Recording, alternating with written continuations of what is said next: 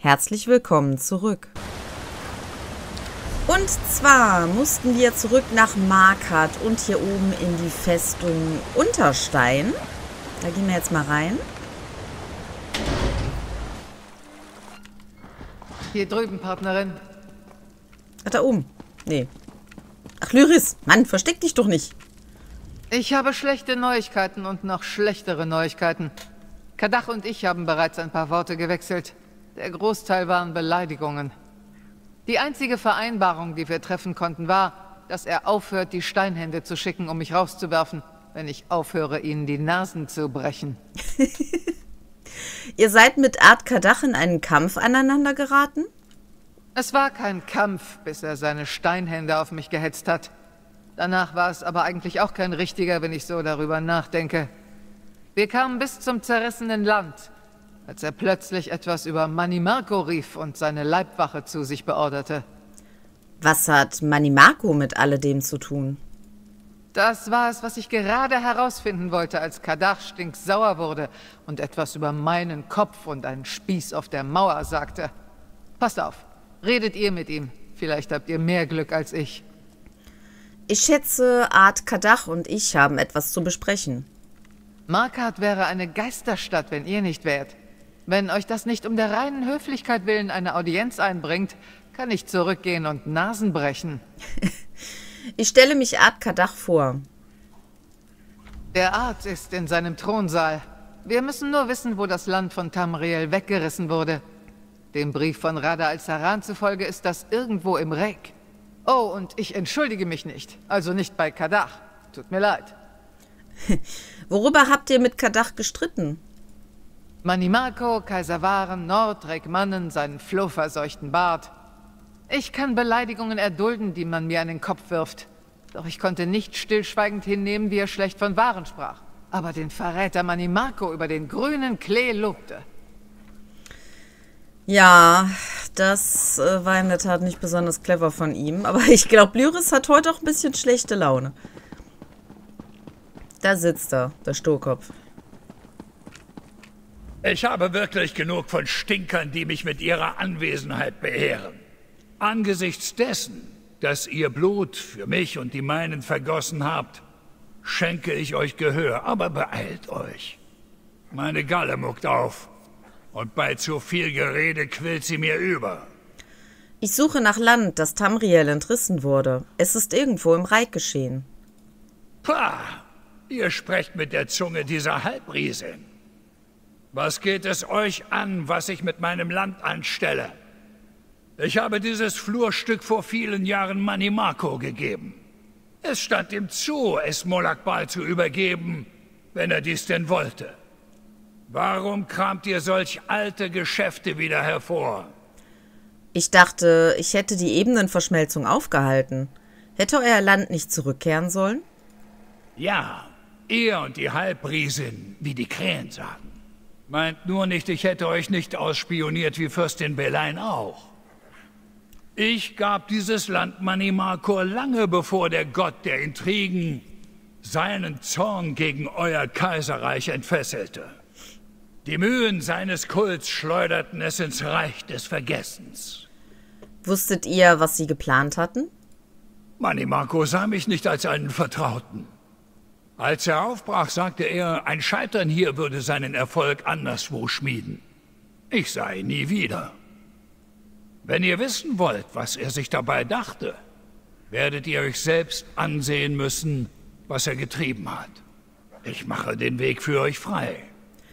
Wo kann ich das Land finden, das ihr Manimarco gegeben habt? Es gibt einen Aufzug in Nechuanzel, der euch in das zerrissene Land bringen wird.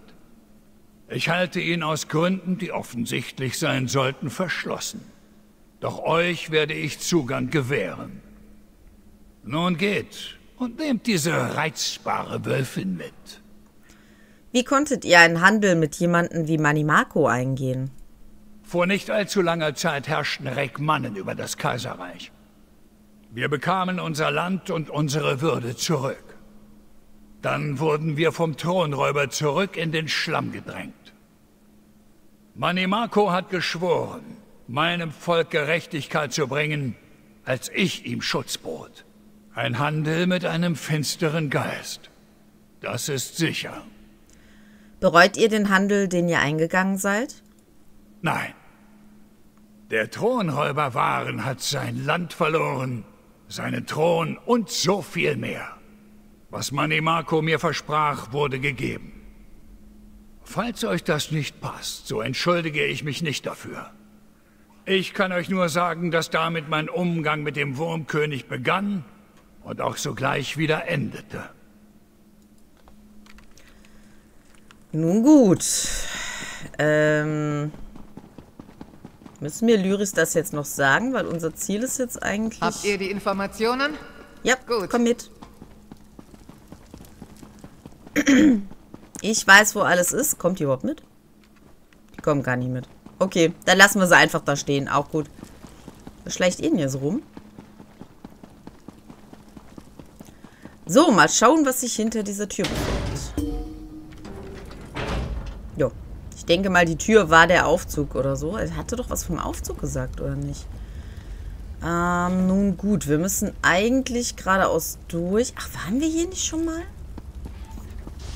Wir müssen gar nicht geradeaus durch, wir müssen nach links. Hier ist der Aufzug. Ah.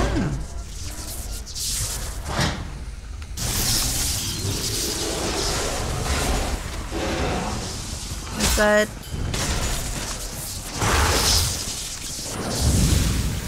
Oh, Leute. Diese Rumstannerei kann ich nicht leiden.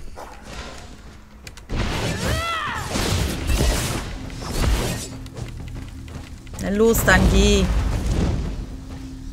So.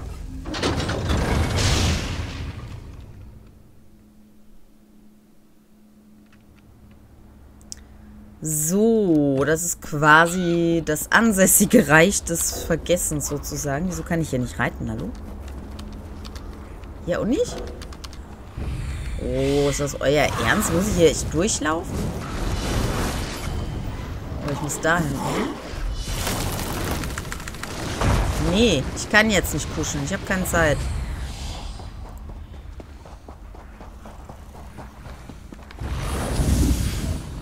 Es ist Rada al-Saran. Das ist unsere Chance. Macht ihn platt. Schade. Ich wollte, dass Verandis diesen Ort selbst sieht. Sie haben ein Stück von diesem Stein... Hey, hier ist noch ein Erinnerungsstück. So wie das, das Fan bei Petar Dams gefunden hat.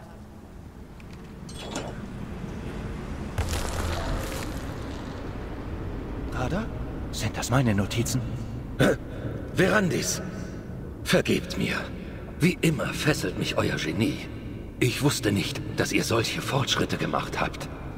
Ich habe nach wie vor keine brauchbare Lösung. Ihr seid weiter, als ihr denkt. Wie könnt ihr das wissen? Ich habe eure Erkenntnisse mit neuen Verbündeten besprochen. Sie behaupten, es würde klappen.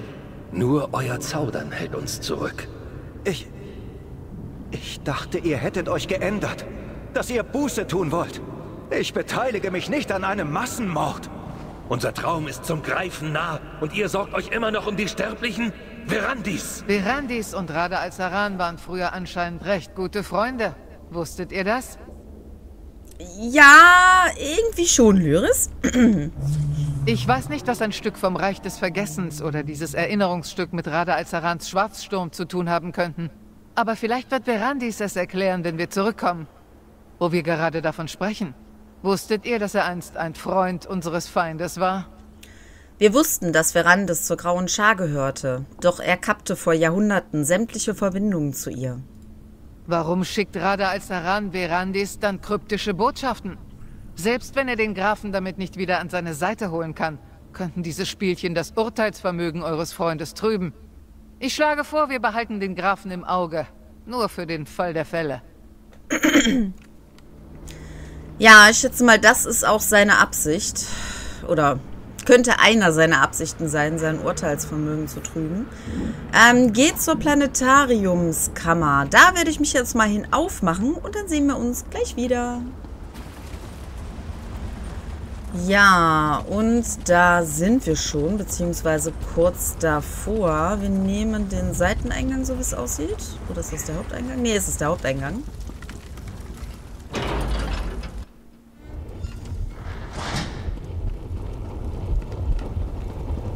Verandis? Das ist ewig her. Gerade als Sarans Absichten lagen darin, mich zurück an seine Seite zu bringen. Das reicht mir nicht, Graf. Warum habt ihr uns nicht erzählt, dass das alles eure Schuld ist? Vater, es waren nicht nur eure Forschungen, die ihn die graue Schar wiederbeleben ließen. Der gesamte Vorgang selbst ist eure Schöpfung. Ihr versteht es nicht. Bitte sagt mir, dass ihr mehr über den Schwarzsturm herausgefunden habt.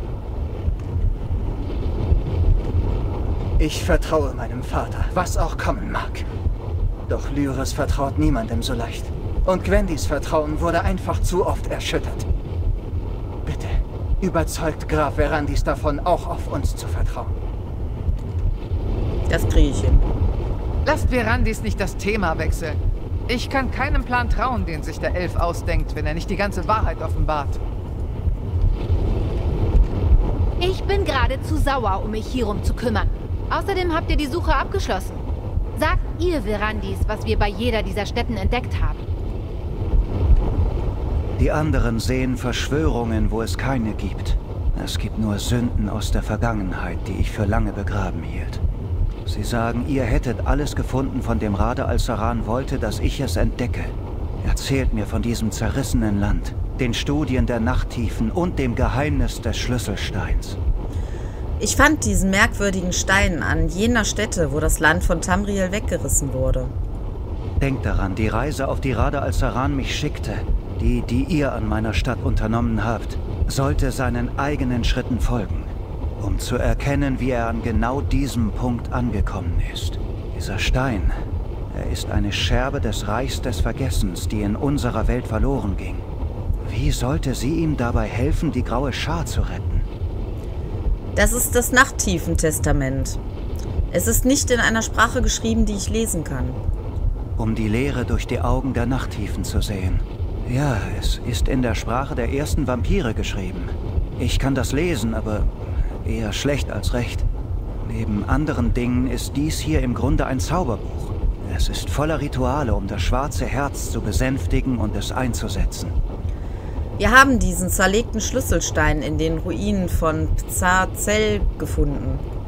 Lag der Sinn hier darin, mir die inneren Vorgänge der mysteriösen Schlüsselsteine der Dwemer zu zeigen? Wir wissen, dass Rade al-Saran einen verwendet hat, um die Macht des schwarzen Herzens nicht nur mit dem Planetarium, sondern auch mit der grauen Schar zu verknüpfen. Ich spüre das Ziehen des Herzens, wenn ich auch nur daran denke. Wie hilft uns irgendetwas davon, den Schwarzsturm aufzuhalten? Was ihr entdeckt habt, verrät uns nicht viel über den Schwarzsturm. Zumindest noch nicht. Doch in meinem Geist beginnt sich ein Bild zu formen. Gerade als Sarans Brief bietet noch einen Hinweis. Er behauptet, ein Laboratorium in genau diesem Gebäude zu haben. Wir müssen es nur finden. Radar al-Zaran hat ein Laboratorium? Ich dachte, er überließ derlei Dinge anderen. Es ist wahr, dass Rada al-Saran sich oft auf mich und später auf Zingalis verließ, um seine Forschungen und seine Experimente zu übernehmen. Doch er war auch selbst ein Gelehrter, wenn es um das Arkane und die Alchemie ging. Ich schätze, er musste sein Können während seiner langen Isolation noch steigern. Ist es sicher, das Planetarium ungeschützt zu lassen, während wir nach dem Laboratorium suchen? Wer sollte zurückbleiben, der Rada al-Saran die Stirn bieten könnte? Ich fürchte, dass wir selbst gemeinsam Probleme hätten, ihn aufzuhalten. Wir werden jeden Vorteil für die letzte Schlacht brauchen, falls es zu einer kommen sollte. Vielleicht, wenn ich lerne, wie man die Dunkelheit anrufen kann. Wie kommt ihr mit eurer Verbindung zum schwarzen Herzen zurecht? Die Dunkelheit brandet gegen meinen Verstand wie Wellen gegen das Ufer. Es kann ablenkend sein. Ich kann meinen gewöhnlichen Tätigkeiten nachgehen. Ich brauche nur gelegentlich eine Pause, um diese Empfindung abklingen zu lassen. Noch kann ich die Dunkelheit nicht beherrschen. Doch ich bin nicht faul gewesen. Was habt ihr erfahren? Unter Einsatz meiner Auromantie habe ich die Magie gegen das Planetarium selbst gewandt. Ich habe viel darüber gelernt, wie das Planetarium arbeitet. Es ist ziemlich faszinierend. Ich habe auch den ungefähren Standort von Rada al-Sarans Laboratorium ermittelt. Doch es ist eine gründlichere Suche nötig. Nun gut, dann suchen wir mal das Laboratorium. Kommt, Rabenwacht! Titanenkind! Die Geister der Vergangenheit dürfen uns nicht von unserer Mission ablenken. Wohlan, denn, Graf.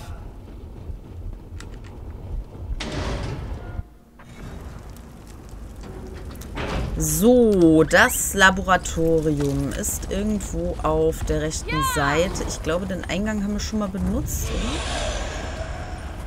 oder? Oder auch nicht. Bin mir gerade nicht sicher. Nee, okay, den haben wir noch nicht benutzt. Ich Okay. bleibe bei unserer Suche an eurer Seite. Rada al-Saran hat im Geheimen sehr lange daran gearbeitet. Sein Laboratorium wird ohne Zweifel gut verborgen sein. Unsere Suche muss gründlich ausfallen. Okay. Das heißt rein und nach links. Nach links können wir nicht.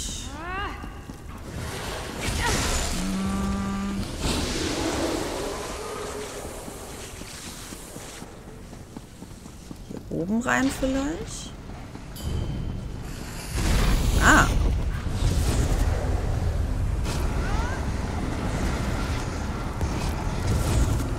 Was macht denn der da? Alles gut, Verandes. Alles Die gut. Entscheidung ist gefallen. So sei es. Welche Entscheidung? Ich habe keine Ahnung, wovon du redest.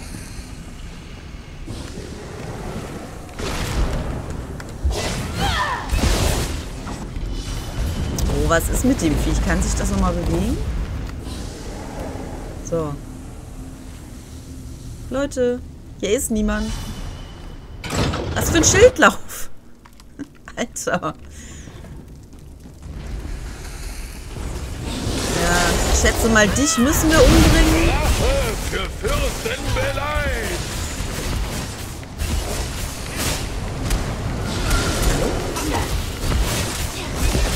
Seht, was jemand, der vom schwarzen Herz ge...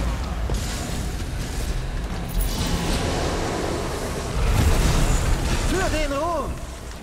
Dein Ernst jetzt? Der war schon tot.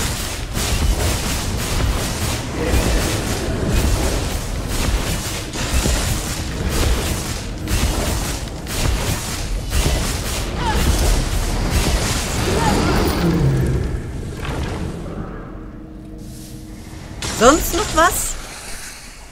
Der Typ ist schon tot, ist schon nicht mehr da und danach holt er noch so einen Knochenkoloss.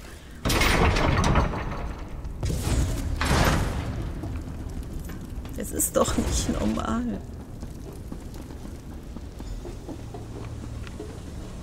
Sprecht mit den Grafen. Wo ist er? Da. Nein, stell dich nicht davor. Rada al-Saran hat meine Forschungen in Richtungen vorangetrieben, an die ich niemals gedacht hätte. Dwemer-Maschinen, Nachttiefenriten, Hexenkunst aus dem Reik. Allesamt aufgereiht um dieses Podest. Könnt ihr euch einen Reim darauf machen? Ja, ich verstehe langsam, wie die von euch geborgenen Teile zusammenpassen. Er baut eine Brücke durch die Leere. Die Scherbe aus dem Reich des Vergessens dient als Magnet, der auf seinen Zielort verweist.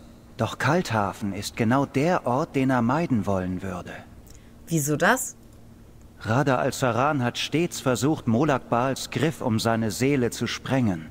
Kalthafen ist der Ort, an dem Baals Macht absolut ist. Es ergibt keinen Sinn. Es sei denn, Kalthafen ist nicht sein Zielort. Versammelt die anderen. Wir müssen sein Ritual nachstellen. In Ordnung. Was müssen wir tun? Fenorian wird die Reik-Alchemie nachstellen, während Gwendis die Nachttiefenriten durchführt. Ihr müsst euch um die Dwemer-Maschinen kümmern, die die tonalen, ätherischen und kinetischen Energien kontrollieren. Ich werde versuchen, den Stein zu durchleuchten und euch entsprechend zu lenken.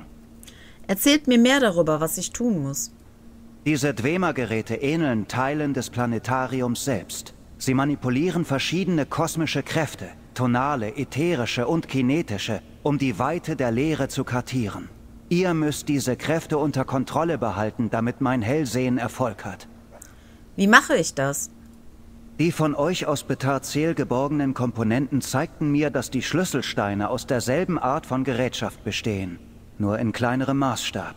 Während ich das Ritual durchführe, werde ich euch zurufen, welche Teile des Vorgangs euer Eingreifen erforderlich machen. Seid flink. Ich habe jetzt kein Wort verstanden. Was genau versuchen wir denn zu erreichen, wenn wir das tun? Rada al-Saran hat uns auf die Mittel und auf die Methode hingewiesen, um sein Werk nachzustellen. Es gibt hier etwas, von dem er will, dass ich es sehe. Und ich glaube, der einzige Weg, um wirklich zu begreifen, was er getan hat, besteht darin, dass wir es selbst wiederholen. Ich hoffe nur, es ist das Risiko wert. Welches Risiko? Wir versuchen Kräfte zu bändigen, die niemals hätten miteinander kombiniert werden dürfen, um in jenes brodelnde Chaos zu blicken, das wir die Leere nennen. Ich schlage nur vor, dass wir es überhaupt versuchen, weil Rada al-Saran offenbar den Beweis dafür geliefert hat, dass es möglich ist. Außerdem haben wir keine andere Wahl. Ja, das sind doch immer wieder gute Aussichten. Äh, schließt euch Verandas am Podest an. Nee, ich muss hier hin.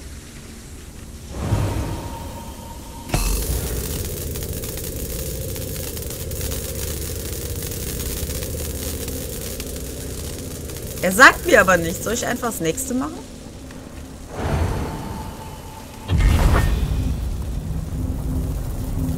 Er gibt mir ja keine Anweisung. Lalala.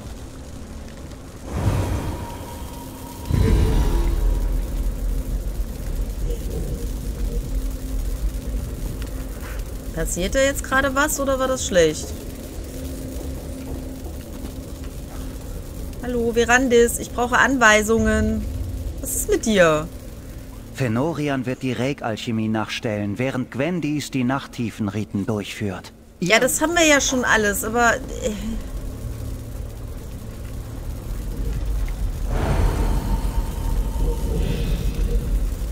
Moment, das leuchtet Gold.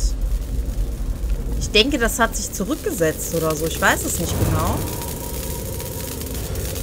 Leuchtet weiterhin Gold. Golden. Da leuchtet gar nichts.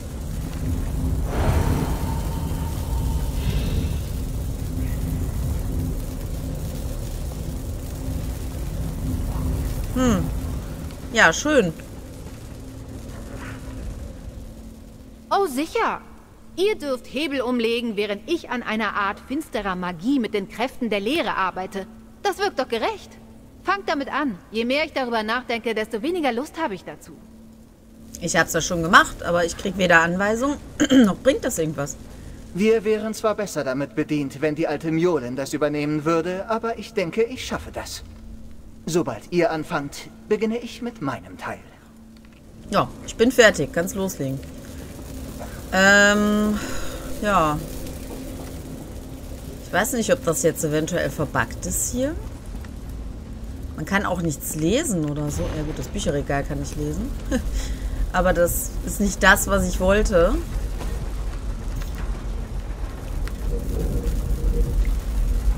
Tonale Kaskade. Aber die leuchten ja auch alle. Also ist jetzt nicht so, als ob da irgendwas nicht funktioniert, oder?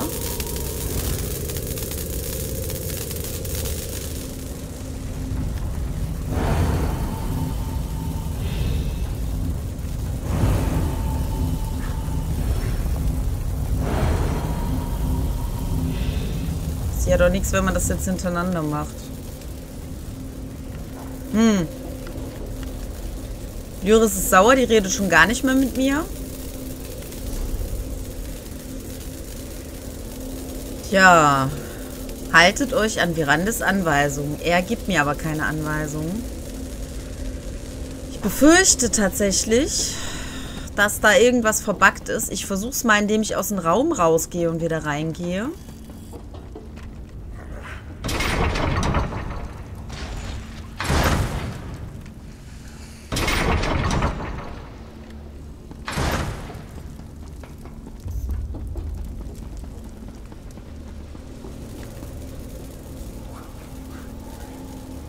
Jetzt ist nur noch Lyris da, oder was? Hä? Nee, oder? Okay, also ich denke mal, dass ihr mir zustimmen werdet, wenn ich sage, dass irgendwas hier nicht stimmt und vermutlich verbuggt ist. Ich lock mich einmal komplett aus und lock mich wieder ein. Ähm, ja, in der Hoffnung, dass wir hier irgendetwas hinkriegen. Dass wir die wieder zurückkriegen vor allen Dingen. Vielleicht habe ich die jetzt auch ins Reich des Vergessens geschickt und habe es nicht gemerkt. Ich habe keine Ahnung. Wir sehen uns gleich wieder. Ja, hier ist es. Hier spüre ich den Nachhall von Rada al-Sarans Arbeit. So, erzählt er jetzt nochmal das Gleiche? Rada al-Saran hat meine Forschungen in Richtungen vorangetrieben, an die ich niemand... Ja, ich verstehe langsam, wie die von euch geborgenen Teile zusammenpassen. Er baut eine... Rada al-Saran hat... Fenorian wird die Reg... Diese Dwemer-Geräte, die von euch aus... Rada al... Wir versuchen Kräfte zu... So, also er hat nochmal alles wiederholt. Hier steht, schließt euch Verandes am Podest an. Da stand ich eben drauf. Ah. Etwas ätherische Macht hinzu. Was ist denn ätherische Macht? Ätherisches Leuchtfeuer. Schnell, ich brauche mehr kinetische Energie. Das war die andere Seite, oder? Nee, das ist die hier. Jetzt, etwas Klangenergie. Das Renkritual. Es katalysiert zu schnell. Rasch helft Fenorian! Ja, ja, ja, ich komm, ich komm, ich komm. Alter, was ist denn jetzt los? Ich brauche mehr kinetische Energie. Kinetische, kinetische. Ätherische, kinetische. Ich brauche mehr ätherische Macht. Hatten wir gerade? Da. Helft Gwendis beim Nachttiefenritus. Hi. Passt die Klangfrequenz an, schnell! Wir haben es fast, nur ein wenig mehr. Wovon? Ich verliere die Kontrolle, reduziert die kinetische Energie. Wie soll ich ihn reduzieren?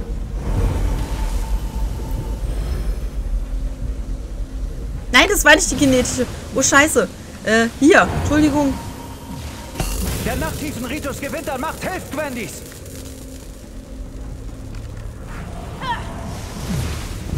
Tonalen Harmonien sind im Missklang, ändert den Ausstoß.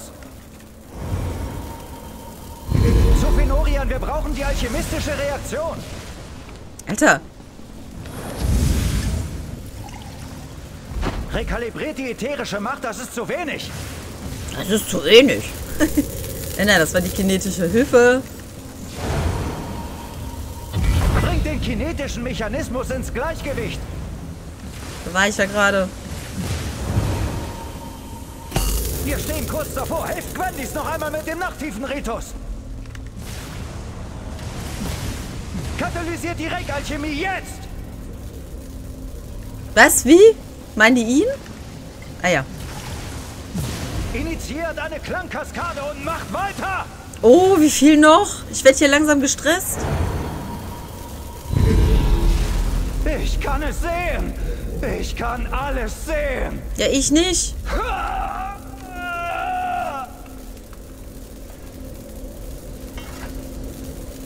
Alles gut?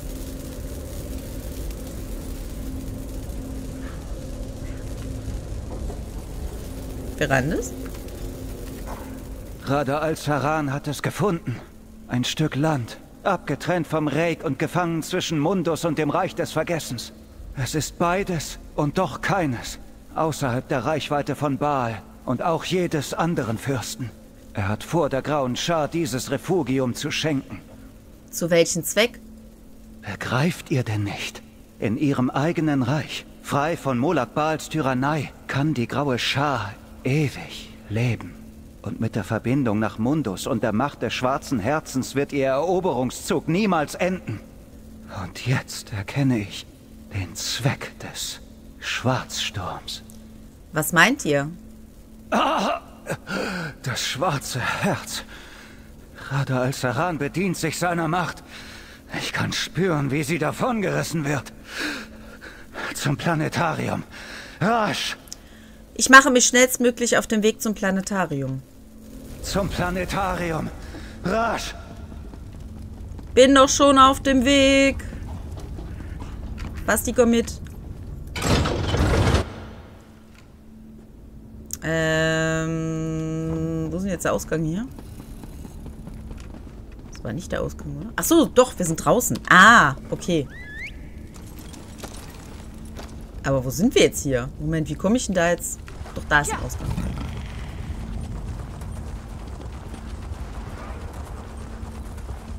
Voller Panik hier. Ich komme hier nicht mehr raus. So. Rada! Nein! Ich will nicht gegen euch kämpfen! Das ist die Chance, die ihr nie für möglich hieltet. Das Tor zu unserer Erlösung steht offen, Verandis. Kommt! Bringt zu Ende, was wir begonnen haben. Alles wird vergeben werden. Ah, Rada tut das nicht. Die leeren Energie verschlingt euch, Verandis. Ich kann euch zeigen, wie man sie beherrscht. Folgt mir! Was ist geschehen? Wo ist der Bastard diesmal hin? Er ist fort, Lyris. An den einzigen Ort, an dem er seinen Plan abschließen kann.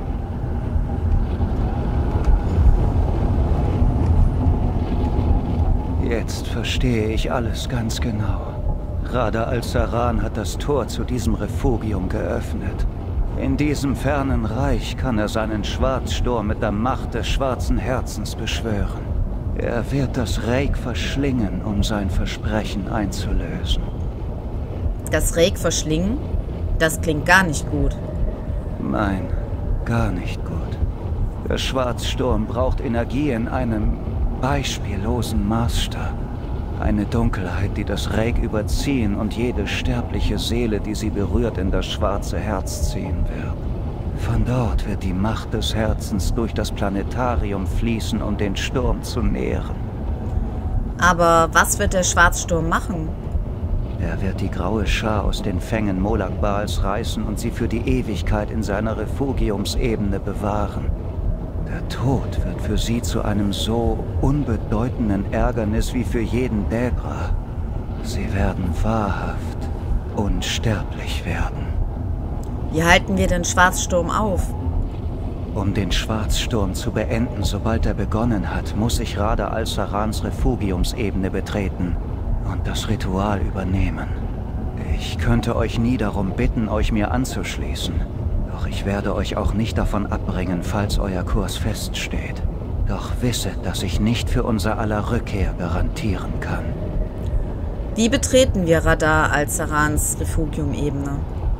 Radar al-Saran hat uns die Tür gezeigt und wir haben den Schlüssel geschmiedet. Ich muss ihm folgen. Ich muss den Schwarzsturm aufhalten. Denn wie ihr dank seiner Auromantie gesehen habt, ist diese Monstrosität meine Schöpfung. Ob ihr euch nun entscheidet, mich zu begleiten oder nicht, wisset, dass ich unsere Freundschaft sehr schätze.